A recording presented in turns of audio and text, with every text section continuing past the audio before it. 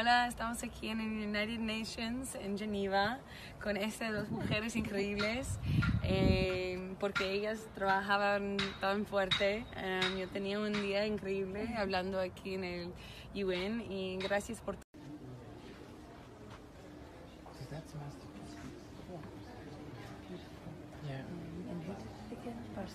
Barcelona. Barcelona.